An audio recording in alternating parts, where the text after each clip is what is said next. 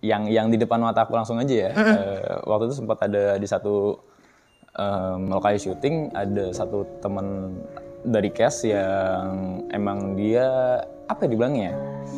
Emang sensitif, dia sensitif. Terus em, jadi di- waktu itu mungkin karena keadaannya lagi kurang baik juga eh, dia jadi gampang dideketin gitu sama yang itu.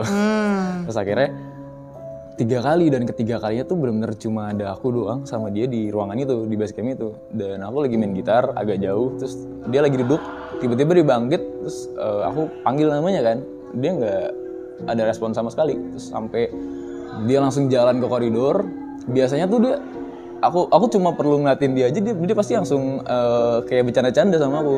Tapi itu enggak sampai aku panggil-panggil di koridor di koridor masih nggak ada respon akhirnya aku lari aku eh, balikin badan dia lagi.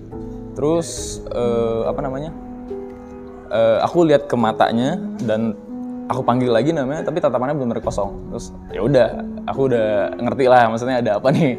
Terus Ada sesuatu di dalam dirinya. iya aku bawa ke ada ke tempat yang ada orang aku tutipin terus baru aku panggilin orang yang ngerti gitu aja sih